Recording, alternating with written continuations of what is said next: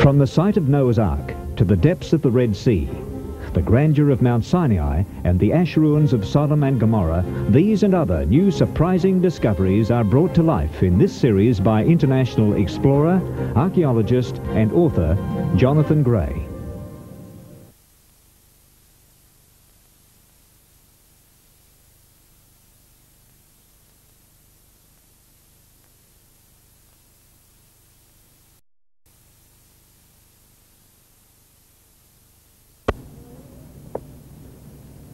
Well, here we are at Saqqara, on the edge of the great desert west of the Nile.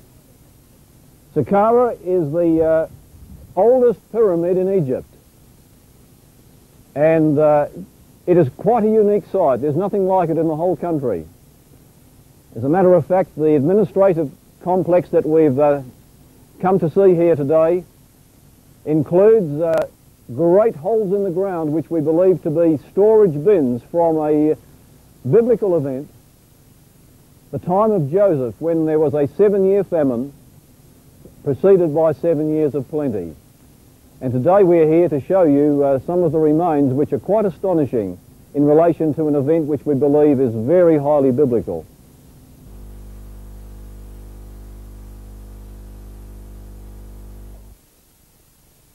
We trudged over the scorched sand of the desert amid Egypt's oldest ruins. Through the friendly influence of Dr. Ali Hassan, Egyptian Director of Antiquities, my wife Josephine and I were now to descend into tunnels far beneath the earth. We had first to break wax seals on two doors. Soon we were in ancient chambers, 110 feet under the desert. The walls were lined with shimmering blue tiles. Sadly, salt crystals have begun to invade the ancient walls.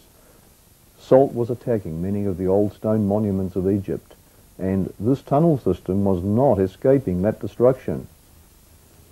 We wondered, who used these tunnels 4,000 years ago. Why were they constructed? Egypt boasts a glorious past. Some 900 miles upstream from the mouth of the Nile sits Abu Simbel. Perhaps nowhere else in Egypt, perhaps nowhere else in the world, is there anything like Abu Simbel. In the 13th century BC, on the banks of the Nile, Ramesses II commanded his architects to build two magnificent temples from adjacent pinkish sandstone cliffs. The work is said to have taken up to 15 years. An artist of the National Geographic Society tries to capture the event. In one cliff, Ramesses carved out a jewel-like temple dedicated to his beautiful wife, Nefertari. In another cliff, just 100 steps distant, workmen smoothed away the surface to a height of 110 feet and there carved four colossal 67-foot figures, all seated, all alike, of Ramesses himself. Each would weigh 1,200 tons. Tunnelling 200 feet inside the cliff, the builders then hollowed out great halls. Chamber after chamber they adorned with carvings of great beauty. Here the ideals of Egyptian sculpture, grandeur and solemnity are carried to perfection. One may imagine the pomp that attended the dedication of this temple the beat of drums, the blast of trumpets, and the clanging of other musical instruments as the monarch and his queen led the procession, followed by the priest. Right. For a while after Ramesses' death, the priests continued to maintain the temples. But by 1000 BC, Lower Nubia had begun to fade from the pages of history and the sands of the western desert started to invade the great temple. Abu Simbel had obviously been forgotten by classical times, else it would surely have been listed as one of the seven wonders of the world. In 668 BC, two Greek mercenaries climbed the sandhills to carve their names on the statues. In 1813, 2,500 years later, Swiss traveller John Burckhardt travelled far up the Nile and stumbled upon this remote spot. He gasped as he saw the tops of four immense statues poking out of the sand. In 1817, Giovanni Belzoni, an Italian who disguised himself as an Arab, penetrated the sand barrier. He went in with torches. Eventually, much of the sand was cleared away from the front, outside. In the 1870s, Amelia Edwards visited and wrote about her visit. Inside is a dim chamber where two lines of towering figures of the pharaoh as Osiris confront one another across a central aisle. Still deeper and much darker is the inner shrine where the king sits side by side with the supreme gods, Amun, Horus and Ptah. At any time, Abu Simbel is an awesome sight, but at the moment of dawn, it is incredible. When the rising sun tops the mountains across the river and flashes full on the facade, the figure of the sun god seems animated by the sudden light, as though to step forward to greet the morning. First rays briefly shine through the entry, penetrating the darkness, to strike the four gloomy deities 180 feet within the bowels of the mountain. Ramesses is one famous name from ancient Egypt. Another is Tutankhamun, who was buried in a $6 million coffin. However, Tutankhamun is famous for the reason that his was the only unspoiled grave found in our time, while other tombs had been robbed long ago, Tutankhamun's tomb was hidden by rubble. It was discovered in 1922. Despite the unbelievable wealth found stored in his tomb, Tutankhamun was really a comparatively minor personage in ancient Egyptian history.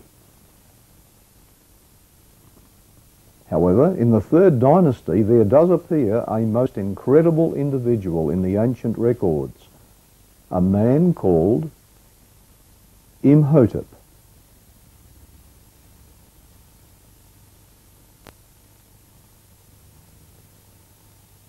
Our archaeological team in Egypt has come face to face with many surprises. Among the most amazing of them all is this man, Imhotep. The story of Imhotep uncannily parallels the story of the biblical Joseph. Of course, scholars have claimed that there is no evidence that the biblical stories actually occurred, that there is no evidence that the ancestors of the Jews ever lived in Egypt, or that Joseph ever lived. However, I shall share with you an astonishing story.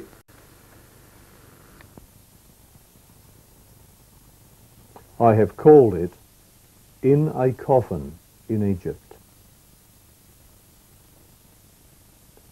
For many years, Egyptologists had even doubted that Imhotep had been a real person. They found it difficult to believe the various accomplishments credited to him. Imhotep has been termed the Leonardo da Vinci of ancient Egypt, but he was more than that. Da Vinci gained the reputation of a genius Imhotep was eventually elevated to the status of a god. The historian Manetho wrote that during his reign, that is, the reign of Zoser of the third dynasty, lived Imhotep, that is, Imhotep, who, because of his medical skill, has the reputation of Asclepius, the Greek god of medicine among the Egyptians, and who was also the inventor of the art of building with hewn stone. Now, it is this statement that caused specialists to doubt the existence of a real man named Imhotep. But in 1926, the question was settled once and for all. Imhotep was a real man.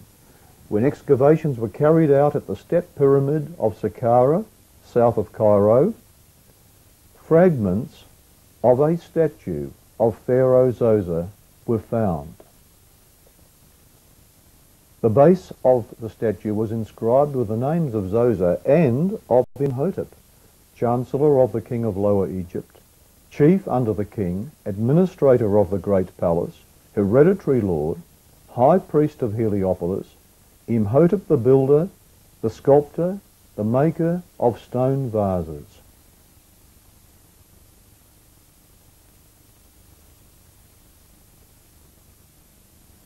Is this an echo of the biblical Joseph?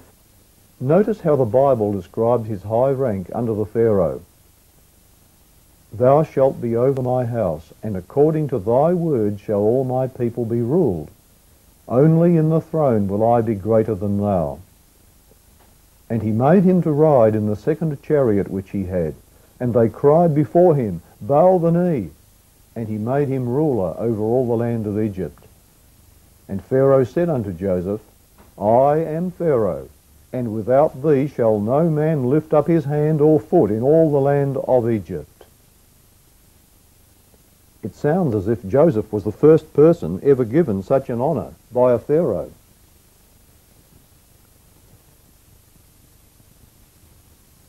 Anyway, who was this Joseph? Joseph is perhaps the best known to readers of the Bible epic as that young Hebrew lad whose father made for him a multicoloured coat. He was one of twelve brothers. The elder brothers had long hated Joseph because he was their father's favourite, you could say.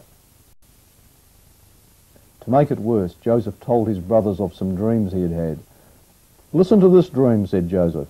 We were binding sheaves of corn, and lo, my sheaf arose and stood upright, and behold, your sheaves stood around and bowed down to my sheaf.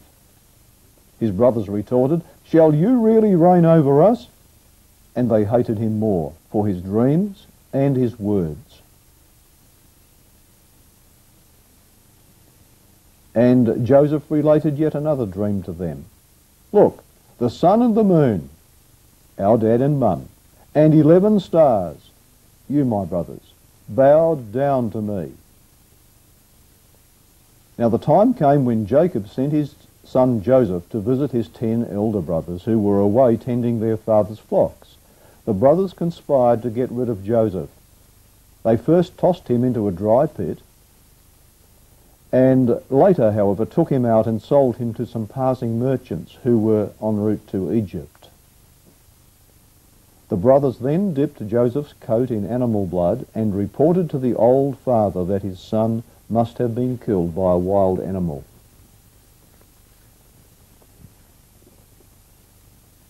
Meanwhile, Joseph was dragged to Egypt. In Egypt, Joseph was sold to a man named Potiphar, captain of the Pharaoh's guard. This man grew to admire Joseph. When, however, Joseph resisted the advances of Potiphar's wife, she accused him of a sexual attack and Joseph ended up in prison. It was while in prison that Joseph shared time with a butler and a baker, both of whom had been in the service of the king. On the same night, both men had dreams, which Joseph interpreted, informing the butler that he would be restored to royal favour, but that the baker was to die. And this is what actually happened. Meanwhile, Joseph remained in prison, forgotten. It occurred that some time later, when the king himself had a dream which greatly troubled him, the butler remembered Joseph and told the Pharaoh. Joseph was summoned from the prison and brought into the king's presence, where he was asked to interpret the king's dream. Joseph informed the king that there were to come upon Egypt seven years of prosperity, followed by a seven-year famine. Joseph gave credit to God for this information, and he suggested to the Pharaoh how to prepare for the famine. The Pharaoh was so impressed by Joseph's wisdom that he not only liberated this foreigner, but installed him in a position of influence. Joseph's main position was that of a prime minister, and Imhotep appears to be the first who could boast of such a broad range of authority in the ancient Egyptian records.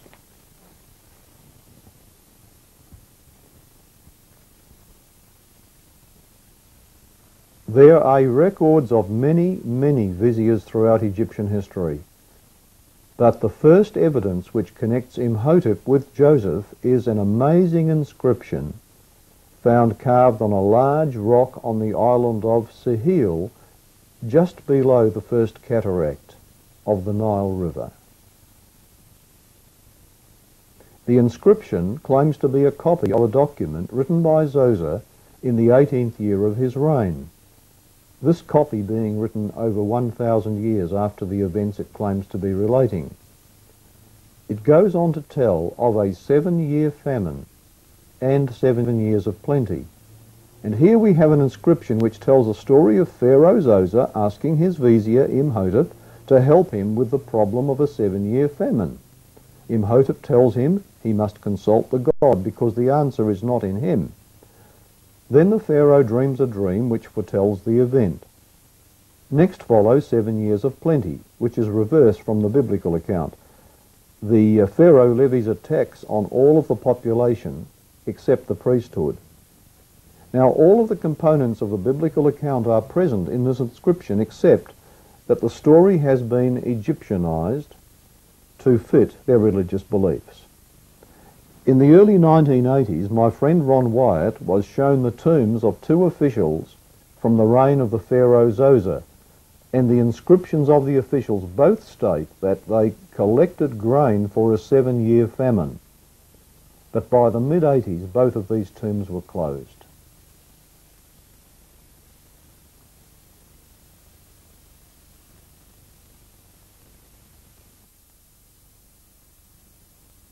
The name Imhotep in ancient Egyptian is translated to mean the voice or mouth of Im. However, there is no record of a god in Egypt called Im. But in the ancient scriptures is the God I am. And God said unto Moses, I am that I am. And he said, Thus shalt thou say unto the children of Israel, I am hath sent me unto you. And Jesus said unto them, Verily, verily, I say unto you, before Abraham was, I am. God told Moses, Tell the Pharaoh that I am has sent you. It appears that the I am was the name by which the Egyptians had known Joseph's God.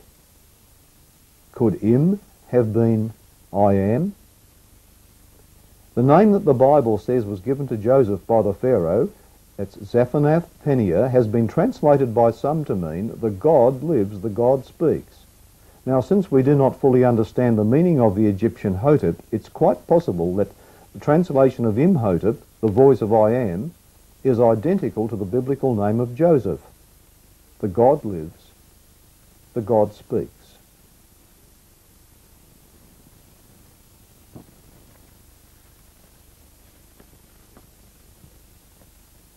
Imhotep is the earliest physician whose historical records survive. And although Joseph isn't mentioned as being a physician, the Bible does give one very important clue to this. and Joseph commanded his servants, the physicians, to embalm his father, and they embalmed Israel. Now here the physicians are specifically stated to be under Joseph. But later, when Imhotep became established as the god of healing, it is the manner in which he healed that ties him directly to Joseph. Ancient Greek writings mention a great sanctuary at Memphis where people came from everywhere to seek cures from Imhotep.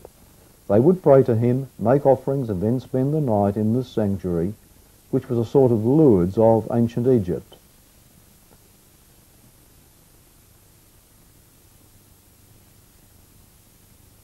And while sleeping, the god Imhotep was said to come to people in their dreams and cure them. Is there a connection between Joseph and dreams? Remember, it was Joseph's dream about him and his brothers binding sheaves that was one of the causes of their great jealousy of him, after he related to them that he had dreamt their sheep stood up and bowed to his. And his brethren said to him, Shalt thou indeed reign over us? Or shalt thou indeed have dominion over us? And they hated him yet the more for his dreams and for his words. Come now, therefore, they said, and let us slay him and cast him into some pit, and we will say, Some evil beast hath devoured him. And we shall see what will become of his dreams. In the records, Imhotep was associated with doing good by dreams. So was Joseph.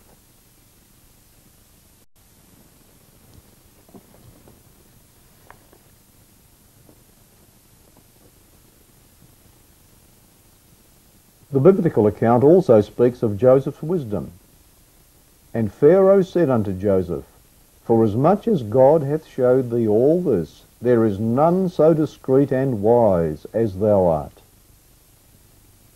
Again, the evidence points to Imhotep. Imhotep was also revered for his wisdom. In several inscriptions from which later times reference is made to the words of Imhotep. For example, in Song from the tomb of King Intef, we read, I have heard the words of Imhotep and Hardefa, and it goes on to explain that their sayings were recited in his day. Now I wonder, could it be that after Joseph's death, others copied his wise sayings and took credit for them, perhaps editing a bit of their own and changing things to suit them? As these sayings were passed down through several generations, instead of being attributed to Imhotep, they were attributed to Ptahhotep, the voice of the Egyptian creator Ptah. These writings do show a link to Joseph.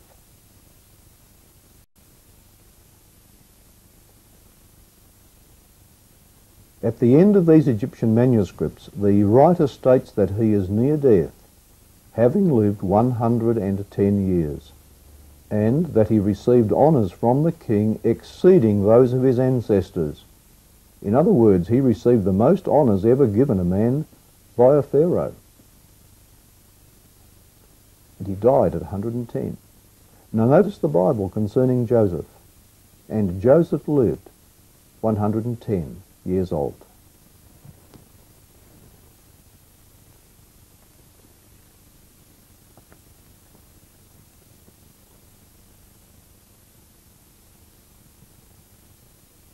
Standard practice was for the Pharaoh always to appoint men to office as soon as he took the throne, with family members being the highest ranked.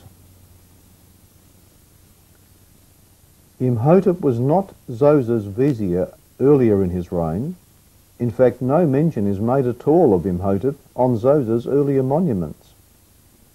The architect of Zoser's tomb, built at Beit Khalaf, which was probably undertaken soon after he became king, was not Imhotep.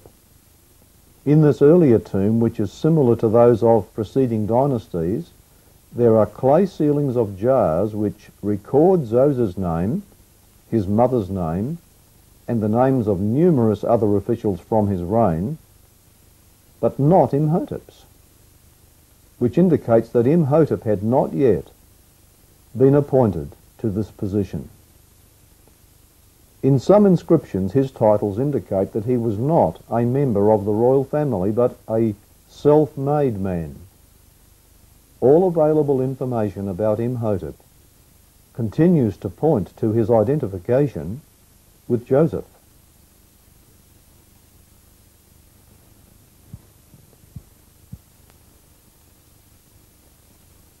Imhotep was also priest of Heliopolis, the biblical On.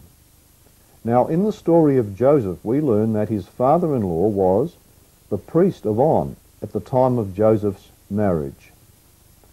And Pharaoh called Joseph's name Zaphnath-Paaneah, and he gave him to wife Asenath, the daughter of Potipherah, priest of On.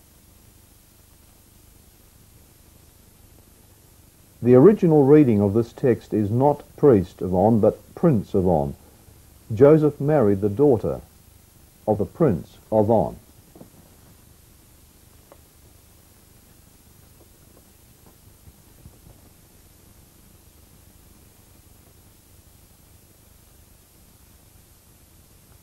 The town of Medinet El Fayum, 80 miles, 128 kilometres, south of Cairo, in the middle of the fertile Fayum oasis, is extolled as the Venice of Egypt.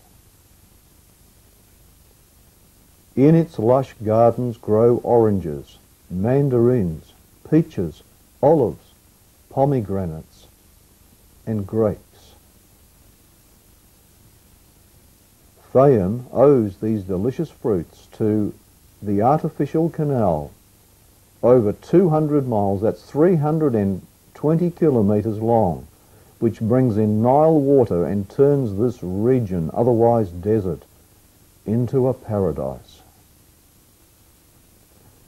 This canal ran parallel to the Nile, northward, to permit the floodwaters of the Nile to flow into a natural basin. When the flood state was passed, the impounded waters could be returned to the Nile by means of a second, shorter canal. Examination of the remnants of this system indicates that it could well have doubled the tillable soil of the Nile Valley through which it passed.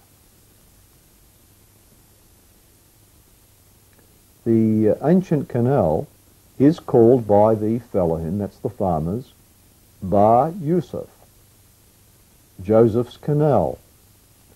It is known by this name throughout Egypt. It is so named on the modern maps.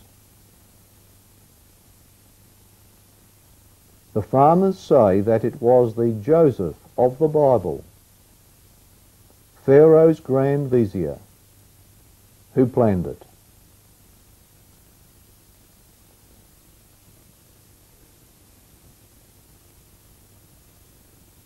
During the seven years of plenty, Egypt was able to prepare extra grain, which was harvested and placed in enormous grain pits, specially dug below the ground level. Later, during the seven-year famine, food seekers converged on Egypt to purchase supplies.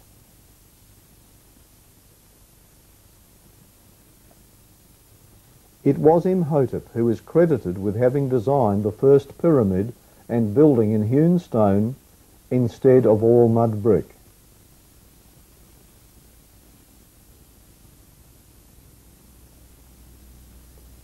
If we look closely at ancient Egypt in its history, we can see evidence that it was during the time of Zoser that Egypt became a truly great nation. After all, it had gathered the wealth of all the surrounding nations by selling them grain during the famine. And during the seven years of plenty, the people, under Joseph's wise guidance, began to organise a great administrative centre which would handle the selling of the grain to all the surrounding nations. A large complex was built which contained the future burial site of the pharaoh, but also included a walled-in centre which contained huge grain pits.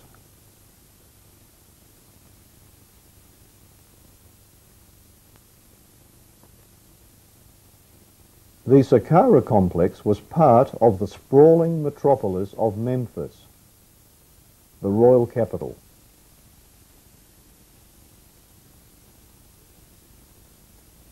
It contained what is today termed the step pyramid. Surrounding the step pyramid and its complex is a very beautiful and elaborate wall. At the main entrance on the east wall, at the southern end, one enters a long hall of 40 columns, that's 20 on each side. Each column is shaped as a cob of corn, and the individual segments of golden coloured corn can be seen. This hints at the purpose of the building.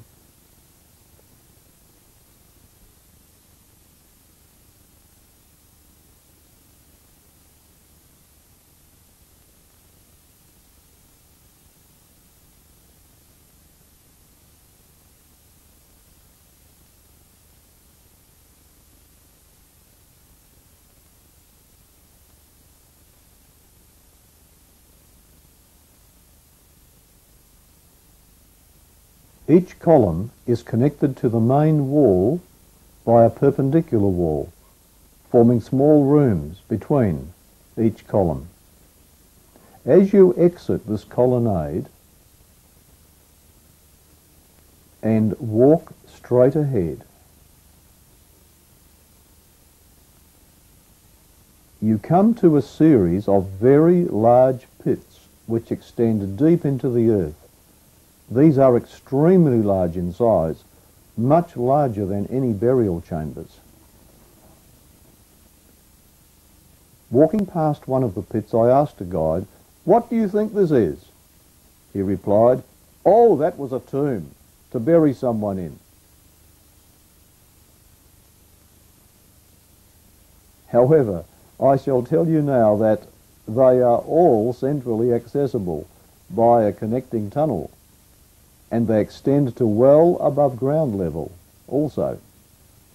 And one has a staircase extending down to the bottom. For this reason we know that they were not built as tombs. If they were, they would have been constructed underground, and they certainly would not have been so incredibly large. These massive structures extend to well above ground level, which indicates that they were not hidden, as were tombs. Because the ancient Egyptians buried their dead with so much valuable material and provisions for their afterlife, plundering of tombs was always their biggest fear. Therefore we know that these massive pits had another purpose. Also, in all the cities of other ancient civilizations, whenever large bins such as these were uncovered, they were recognized as storage bins. But in Egypt, the scholars tend to term everything they find a tomb. However, in the Pharaoh's burial complex under the pyramid, we find matching bins for the king's and his family's afterlife, and in these bins were found grain and other foodstuffs. In the biblical account, we learn that Joseph appointed men throughout the land of Egypt to oversee the gathering and storing of the grain in all the cities during the seven years of plenty. Later, during the famine, he gave the orders for the distribution of the grain. And the famine was over all the face of the earth, and Joseph opened all the storehouses and sold unto the Egyptians. But when foreigners came to purchase grain, they went to Joseph, the governor. When Joseph's brothers came to Egypt to buy grain, they would eventually find themselves bowing to Joseph. We believe it is Saqqara to which they came, where the remains of this fantastic complex are preserved. And it was here that Pharaoh Zoser had 11 extremely large pits constructed, which can only be grain storage bins. Every city had stored grain from its region, but at this complex at Saqqara we have these massive pits which would have stored an incredible amount of grain, more than a single city would ever have needed. And uh, at the entrance to the complex, as we described earlier, there are 40 small cubicles, each just the right size, to hold a single person who could administer the receipt of payment from people coming to purchase the grain. They would then have received their bags of grain. The design of the pits is impressive. There are 11 of them, with only one containing a very elaborate stairway extending all the way to the bottom. All the pits are connected to each other by a subterranean tunnel. The pits were filled and the tops were sealed with wooden timbers and stone, and all of the grain could be accessed from one entrance. And there is one entrance into the pits from outside the wall enclosure of the complex. And did you know grain was found in the floor of these pits?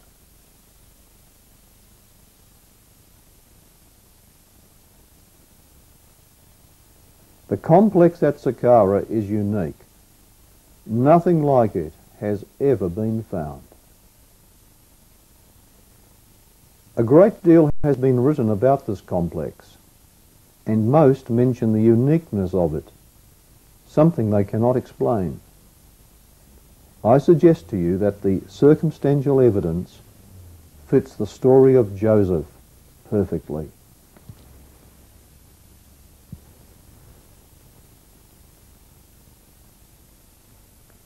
We know from the biblical account that Joseph died in Egypt and was embalmed and placed in a coffin. It says, So Joseph died, being an hundred and ten years old, and they embalmed him, and he was put in a coffin in Egypt. In a coffin in Egypt. But when the children of Israel left Egypt some two centuries later, at the time of the Exodus, Joseph's bones were taken with them. And Moses took the bones of Joseph with him, for he, Joseph, had straitly sworn to the children of Israel, saying, God will surely visit you, and ye shall carry up my bones away hence with you. One of the big mysteries for Egyptologists has been the tomb of Imhotep.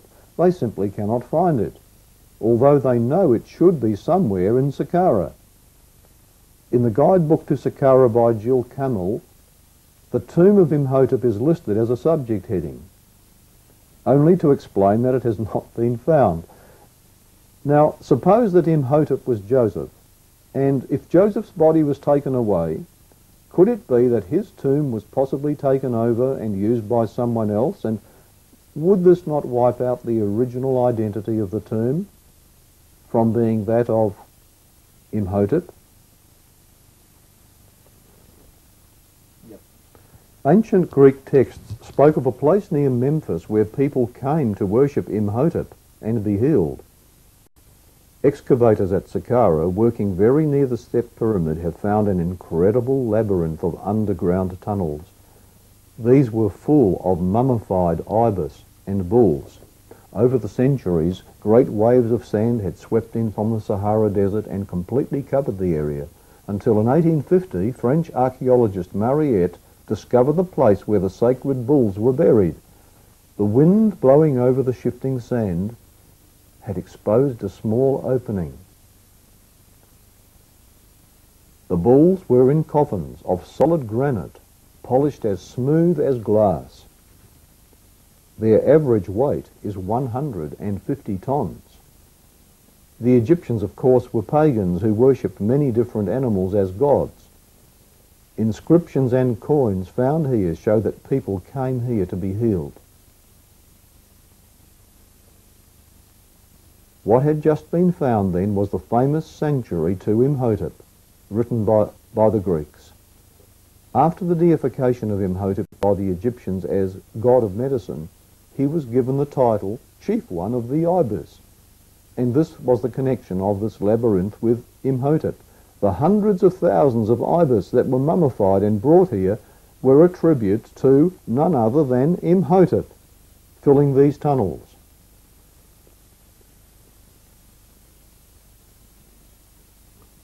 These galleries, it was later found, were connected to a pit, and the pit extended down to a funerary chamber which contained an empty coffin. The chamber belonged to a large mastaba tomb.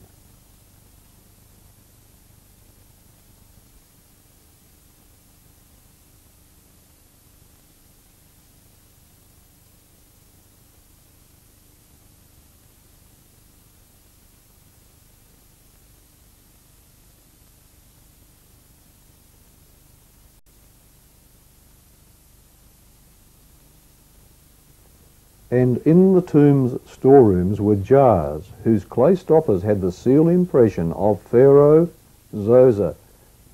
Well, here is absolute proof that this was the tomb of a very important person of Zoser's reign. No inscriptions were found on the walls and the sarcophagus was empty. But even more importantly, this Mr. mastaba is orientated to the north instead of to the east as the other pyramids are. This was an important tomb of someone from Zoser's time, but the sarcophagus was empty. And it had titles applicable to Joseph, on it.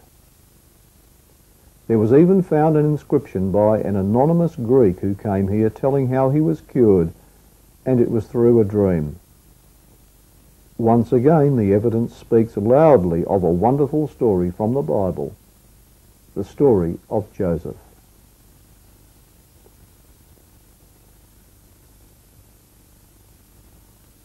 The Pyramid of Teti, first king of Dynasty 6, is called by the local populace the prison pyramid. Local tradition says that it was built near the ruins of the prison where Joseph was confined. The pyramid is located near Saqqara in a likely area for such imprisonment.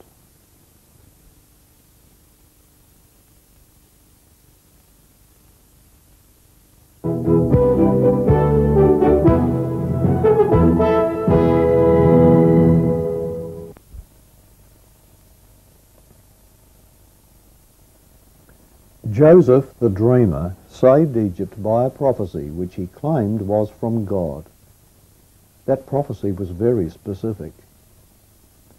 Did you know the Bible contains some 1,000 prophecies, some concerning Egypt, which reach thousands of years into the future, even to our day? Of course, we humans can be sure of nothing, even seconds ahead, isn't that right? Just ask any horse punter. You may have heard of the wealthy King Croesus, who went to visit the oracle of Delphi. He wanted to know whether he should fight the Persians. The wise oracle told him that, by crossing the river Halys, Croesus will destroy a mighty power. Well, Croesus took this as a prophecy that he would destroy the great Persian army. So he went into battle, but he was defeated. Yes, he did destroy a mighty power, his own. Whichever way the battle went, the augury would be true. Human prophecy, I've found, is much like that. But here is something different. The Bible writers throw out a challenge to us. They have written, if you want to know whether the Bible came out of the fertile minds of men, or whether it was dictated to man by God, there is an acid test you can apply. That test is biblical prophecy. Biblical prophecy is as far from human prediction as midday is from midnight. You see, Bible prophecies are specific. So that you will know I am God comes the challenge. I'm going to give you the game plan of history before it happens. You test it. And then he proceeds to give us a thousand or more predictive prophecies, dealing not merely with broad general outlines, but often with minute details. Centuries pass. Suddenly events start happening, and a great variety of predictions, highly improbable when given, are progressively fulfilled. We all know that no man can predict world history. We can only guess. So when we find a series of predictions, and they do take place precisely as foretold, could this be proof of a non-human source of information? I suggest to you that prophecy establishes the fact of a divine intellect behind the Bible. It establishes the fact of God.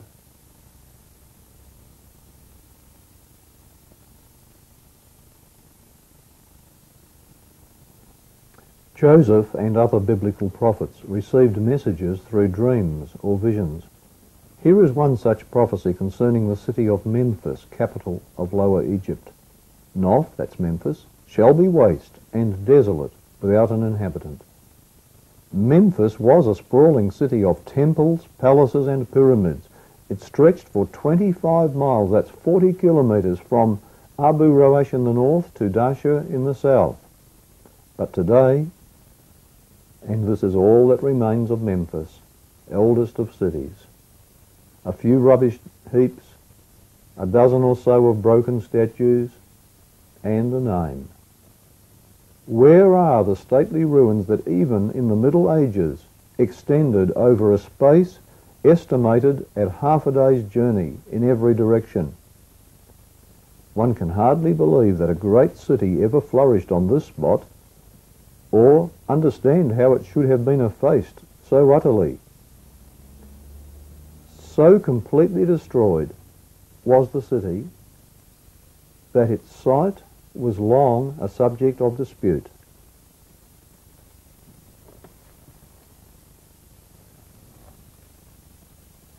Thus saith the Lord God, I will also destroy the idols, and I will cause their images to cease out of Noph, Memphis. Now Memphis was known as the great temple city of Egypt. A more unlikely fate could hardly be imagined than the destruction of the idols and images of Memphis.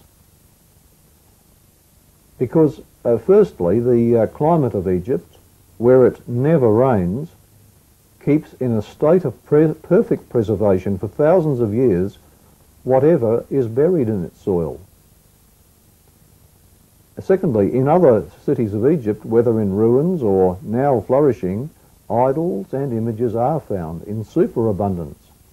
For example, in Thebes, former capital of Egypt, though already in ruins while Memphis was still in splendour, has idols in abundance. And in other Egyptian cities equally old, time has not destroyed the images and idols. Yes, idols are still found elsewhere, but the prophecy said, not in Memphis. 1800 years after this prophecy, the idols of Memphis were still there. A few years ago, in one of the great desert mounds, the heart of Memphis was rediscovered, and the archaeologists were amazed at something.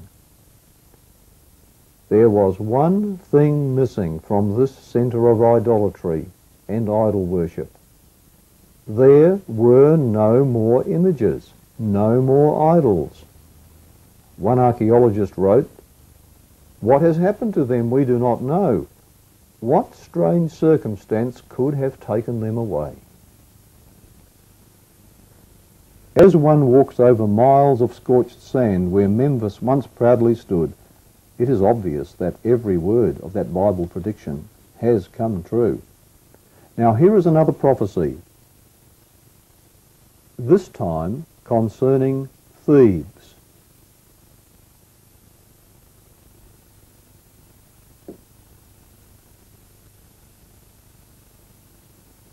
No, that's Thebes, shall be rent asunder, said the prophecy.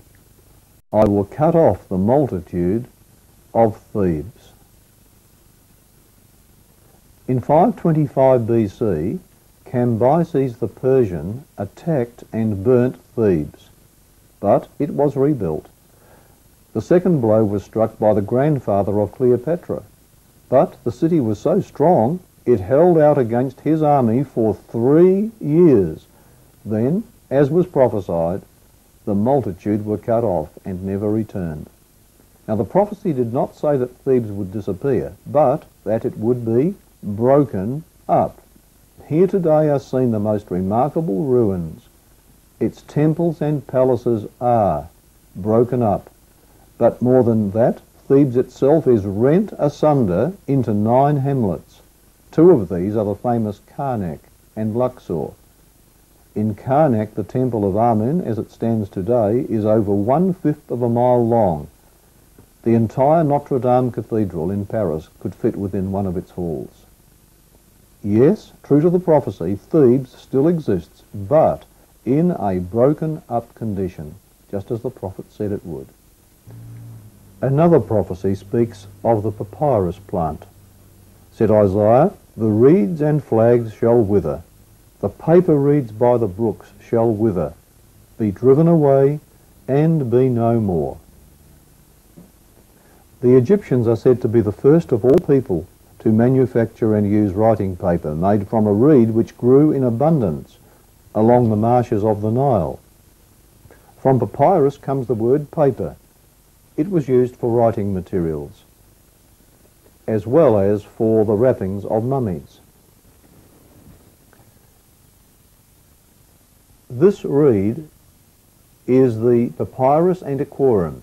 It was also known as bulrushes the ark in which the baby Moses was hid was made of this. In Egypt, ships made of papyrus reeds woven and lashed together plied the Nile. The fan-shaped head of papyrus appeared in Egyptian design as a symbol of Lower Egypt. It was while the papyrus reeds were still growing luxuriantly along the Nile Delta that this significant Bible prophecy was addressed to Egypt.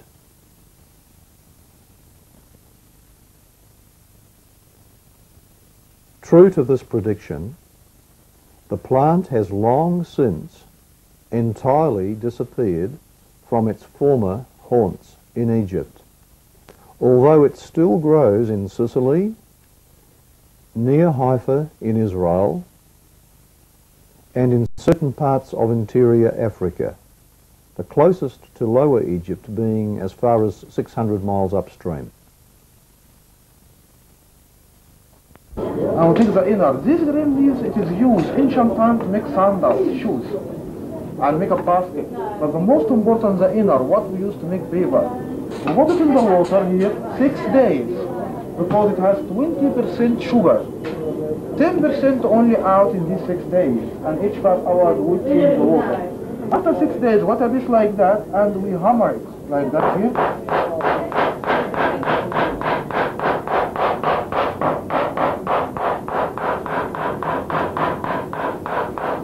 After, after we hammer it, we roll it to make it a flat and smooth.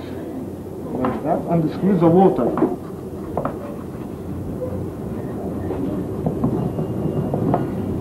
After roll it, it's come flat and smooth like this. Because the other piece do the same way, and it different direction. This side, and this side like a weave Up, down, up, down. Let's see. After that, we put it under press, six days more under press like that here. It starts to stick together, no glue. Why sticking together? Because the 10% is sugar. That's why we leave it like a glue. So after 12 days, 6 days in the water, 6 days under the press, we got a piece of paper like that. You see the structure here, see the widget here? After 12 days. After we give it to Academy of Art in Cairo, take it and move to original places like museum, temples, tombs, and the paint was so exactly from original. By stone color like lapis lazuli, turquoise, onyx, mica powder of natural stone and use with it, and the gold come from eating karat gold painting. See the light? See the gold how look like. See here?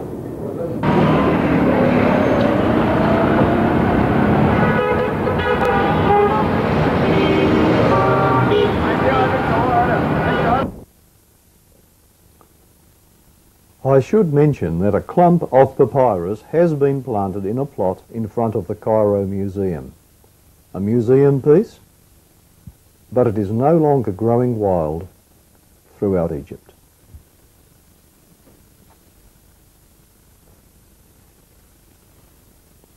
And there shall be no more a prince of the land of Egypt.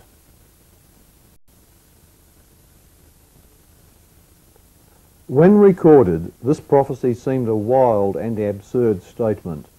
Egypt was a mighty nation. She had a line of kings such as no other nation of the world had ever possessed, and it seemed as though this would last forever. Even today, Egypt has had a longer line of kings than any other country under heaven. Yet, since 400 BC, that's for 2,400 years, none of Egypt's kings has been an Egyptian. The land of the pharaohs has been ruled by foreign overlords, Persians, then Greeks, Romans, Saracens, Turks, and then more, the French, British, and Arabs. Will you ask, what about King Farouk, who ruled as the last king of Egypt until World War II?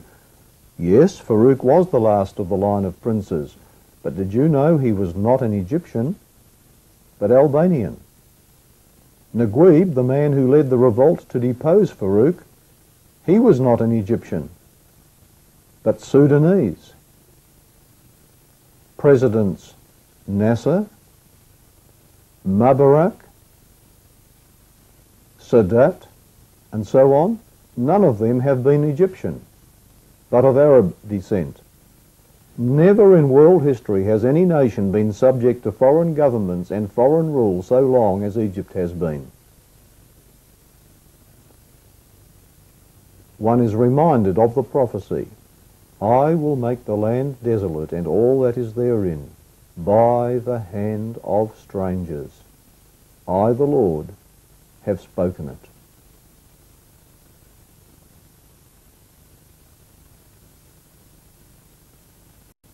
I tell you, Bible prophecy is very accurate. Today, Egypt, although the most heavily populated nation in the Middle East, is populated mainly by Arabs, not Egyptians. According to Encyclopaedia Britannica, the Copts in Egypt, not the Arabs, are the racial representatives of the ancient Egyptians. The Copts have undoubtedly preserved the race of the Egyptians as it existed at the time of the Arab conquest in remarkable purity. The Copts are direct descendants from the ancient Egyptians. The Coptic language is, at base, ancient Egyptian. Many of the nouns and verbs found in the hieroglyphic texts remain unchanged in the Coptics.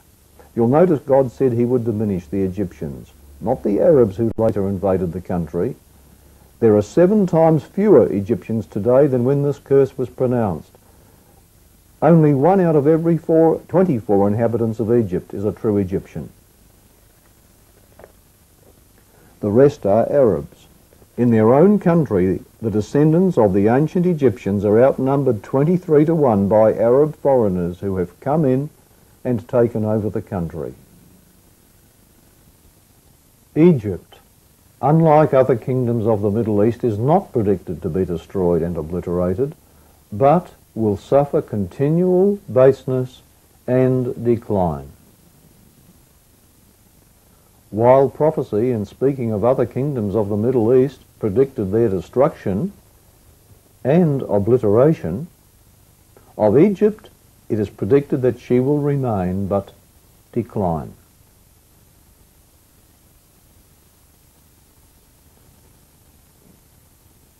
They shall no more rule over the nations.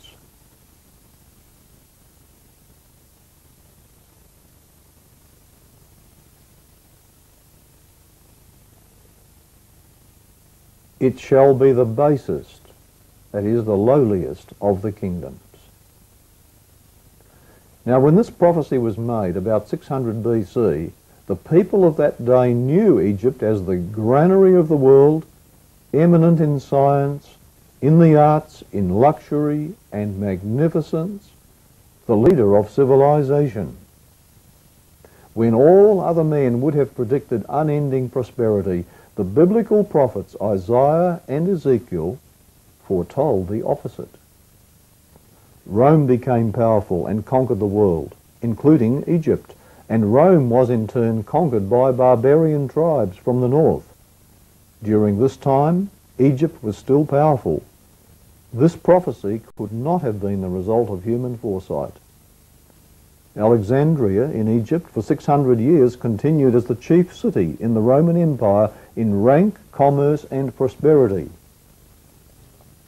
A hundred years later, Egypt was still so powerful that the Mohammedan hordes, though arrogant with unchecked victory, hesitated to attack Egypt.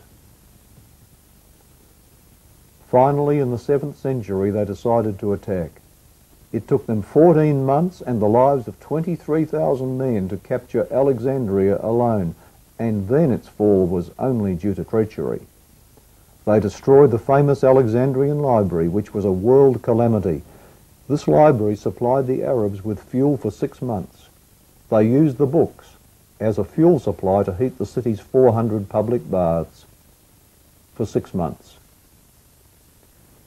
The prophecy said Egypt would become a base kingdom. Today, most of the Copts, that is the Egyptians, are low, subservient people, scribes and handcraftsmen, and in those capacities they serve the Arabs.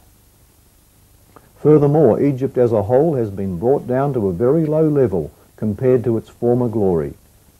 Babylon was destroyed, Chaldea was destroyed, Assyria was destroyed, but not Egypt. Egypt was predicted to survive, but as a base nation. The filth and degradation of present-day Egypt's peoples is well known. Up to 70% can neither read nor write and are poverty-stricken. A national magazine has noted that the people of Egypt have the lowest standard of living of any nation on earth today.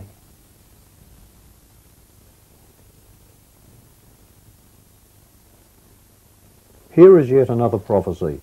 Her cities shall be in the midst of the cities that are wasted. Cairo and Egypt's other cities today are surrounded by wasted ruins. They are in the midst of them, just as the Bible said they would be.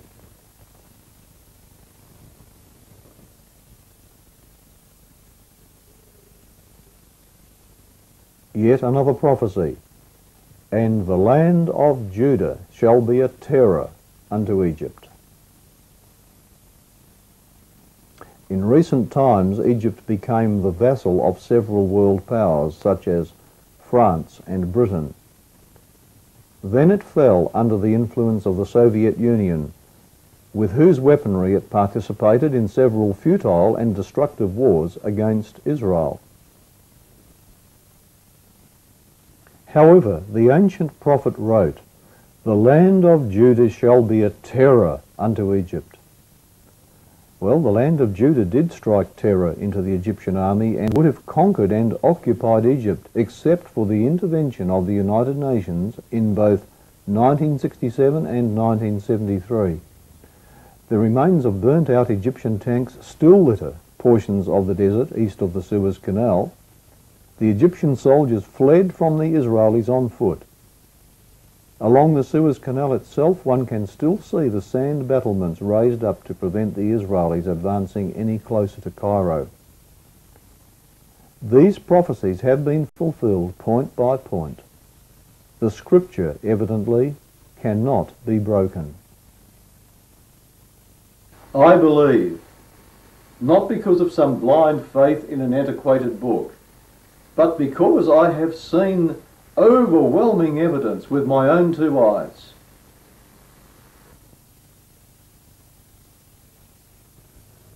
The biblical prophet Isaiah continues his prophecy.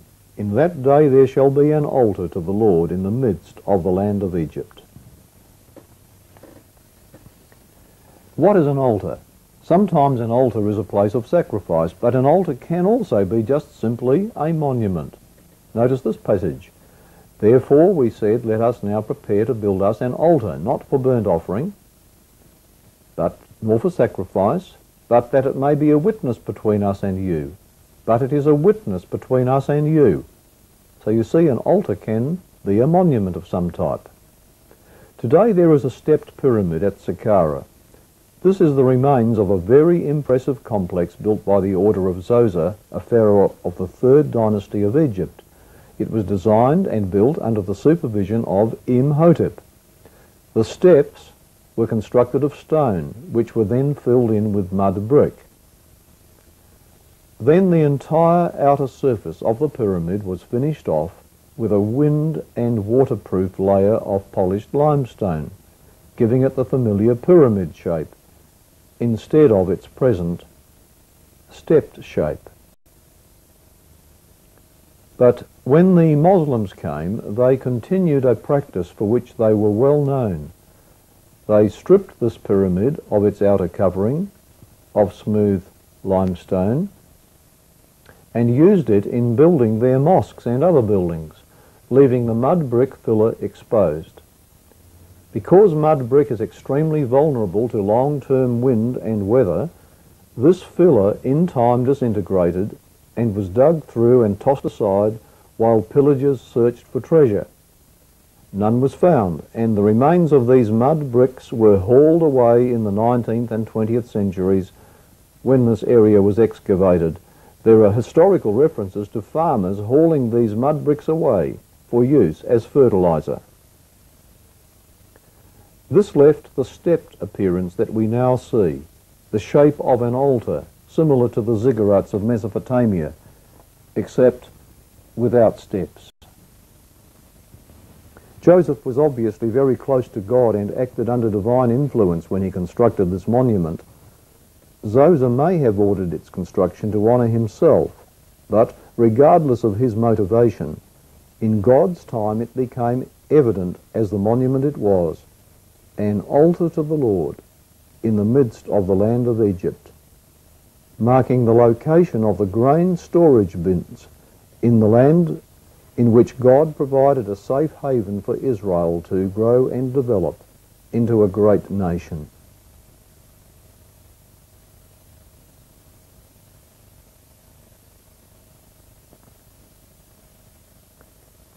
Now note the rest of the prophecy. In that day shall there be a pillar at the border of the land of Egypt, a pillar to the Lord. So where was the pillar? At the border. King Solomon erected inscribed pillars on each side of the Red Sea crossing and built a shrine at the foot of Mount Sinai in Arabia. This was done in the 10th century BC. Ron Wyatt found them in 1978 and 1984. The pillar on the Egyptian side of the crossing site had fallen into the water when Ron found it in 1978, during the time Israel had control of the Sinai. Ron showed this to the Israeli military and they re-erected it in concrete very near where it was found, which would be exactly at the border thereof, of the land of Egypt, for the Sinai Peninsula soon reverted back to Egypt.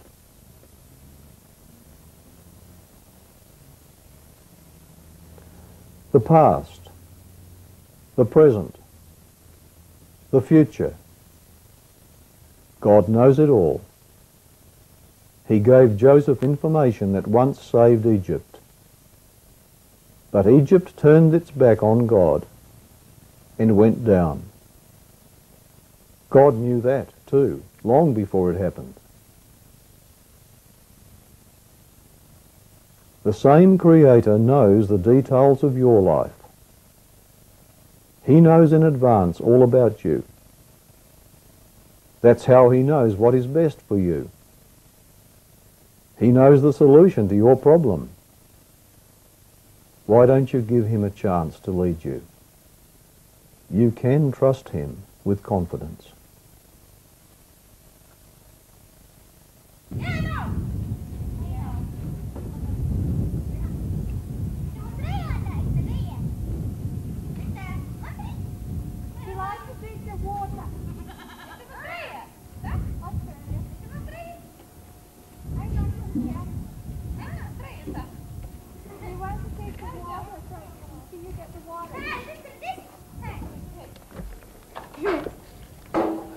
good water? Is it good water? Ah. No English, I don't know English. Arabic best. Okay. Let's speak English.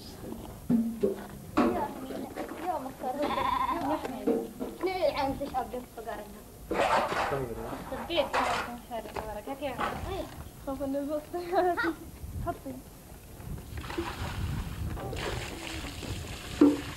Yeah.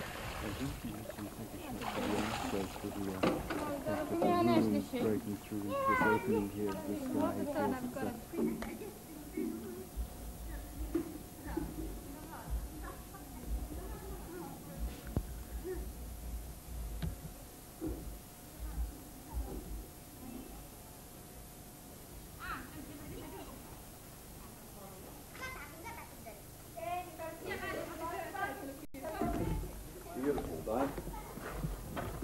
She went in to get her bucket.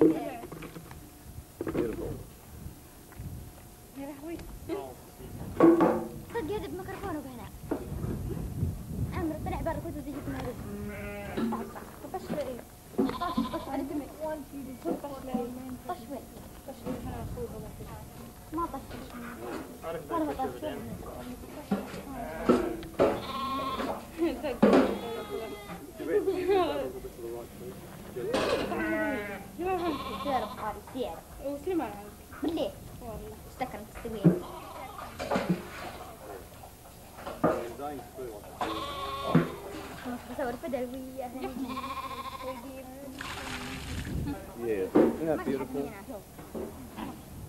Beautiful, isn't it? Lovely sight. Thank you. Bye.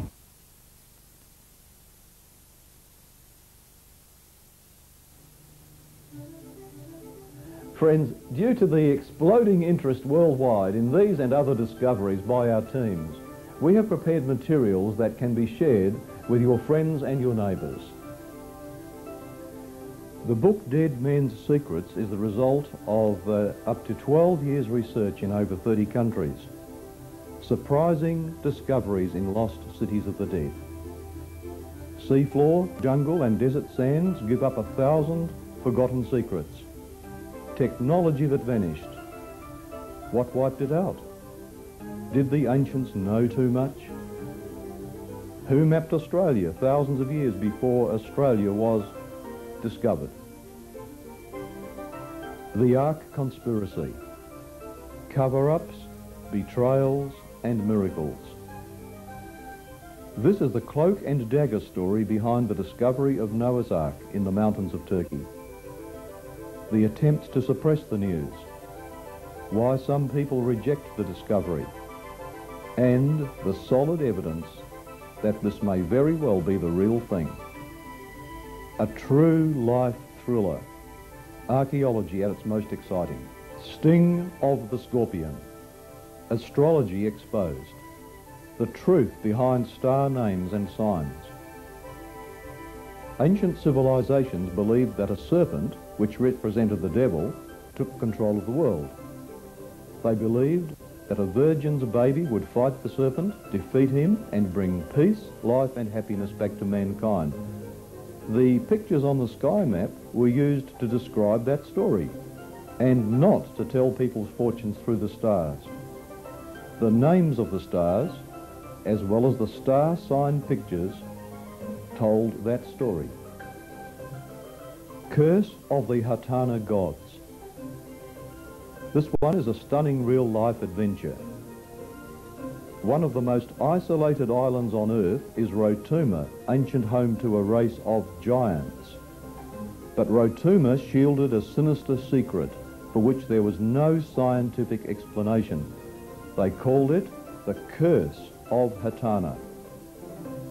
The evidence for the ancient giants and the incredible story of a face-to-face encounter with the curse is the story of this book. Sinai's Exciting Secrets. This is a compilation of information concerning the existence and discovery of the true Mount Sinai in Arabia. Do you believe in miracles? Then catch the spy story that's in this book, which is probably one of the most exciting stories of the 20th century. It's in a uh, spiral-bound format with information from quite a number of sources and recent developments that have been taking place in the country as a result of the discovery. Every three months we produce a regular newsletter which goes worldwide into many countries. This uh, deals with the uh, recent developments and new materials which are continually being produced by our team, plus other significant archaeological finds around the world, and news of other important world developments relating to the coming New World Order. If I had to recommend any particular publication, this would be it. This is the one that keeps you up to date with what is happening. We also produce spiral-bound volumes of the previous issues, back issues of uh, Update International Newsletter. We at the moment have two books, uh, Back Issues Volume 1, which contains the, the first 10 issues of Update International, and Back Issues Volume Number 2, which contains Update Issues 11 to 20. These cover all the discoveries in which uh, myself, Jonathan Gray, and my associates are involved with extra information as well as ancient giants, dinosaurs, mysteries of ancient South America, surprises in the Grand Canyon, Chinese pyramids, ancient Egyptians in Australia, lost technology and much more. Scores of photos, maps and diagrams. And there's also an index in the second volume to all questions and topics found in both volumes. Now among the videos which we have available are the series Surprising Discoveries numbers 1 and 2. The first video runs for two hours with three subjects. Part 1 has Noah's Ark been found, the Noah's Ark story. Part 2, Lost Secrets of the Ancients, ancient technology. And Part 3, Into the Forbidden Valley, trip to Noah's gravesite. Surprising Discoveries number 2 runs for two and a half hours. Part 1, contains the lost cities of Sodom and Gomorrah, Dead Sea sites. Part 2, In Search of Pharaoh's Lost Army, the Red Sea Crossing. And Part 3, Smuggled Out of the Desert, the real Mount Sinai story with live footage. And finally, on the Ark of the Covenant subject, we have a book of 600 pages which deals with uh, the subject of this video but goes even further. When Jonathan Gray set out to prove an amateur archaeologist's claims, he never counted on being targeted for murder or facing political pressure to keep a major discovery underground. Fast-moving, spellbinding, well documented, this book reveals forgotten voyages, secret tunnels and acts of intrigue. The CD is for computers with Macintosh and Windows. It reports on the Ark of the Covenant but goes even further. With Noah's Ark, Sodom and Gomorrah, the Red Sea crossing and the Mount Sinai discoveries. In this CD there are up to eight hours of interactive viewing, including one hour of exclusive new video footage. And it provides on the internet an international online conference for discussion and debate.